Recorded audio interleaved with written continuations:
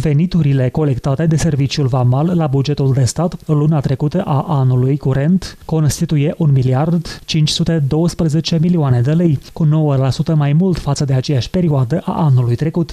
Numărul declarațiilor vamale perfectate în această perioadă a depășit cifra de 46.000.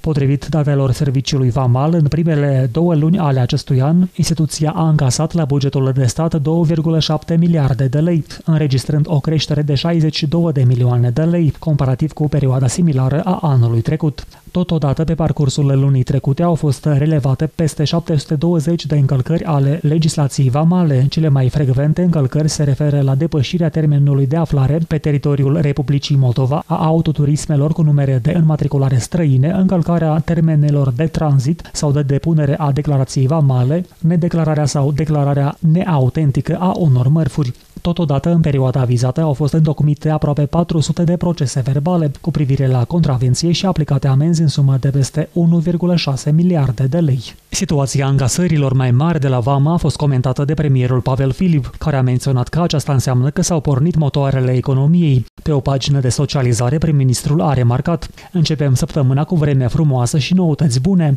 Datele ne arată că Serviciul Vamal al Republicii Moldova a adus peste 1,5 miliarde de lei în bugetul de stat doar în luna februarie, cu 123 de milioane de lei mai mult decât în aceeași perioadă a anului 2018. Aceasta înseamnă că s-au pornit motoarele economiei în țara noastră și funcționează bine. Mai mulți bani la bugetul de stat înseamnă mai multe drumuri și școli reparate, pensii și salarii mai mari, mai multe proiecte sociale pentru oameni, a mai precizat premierul.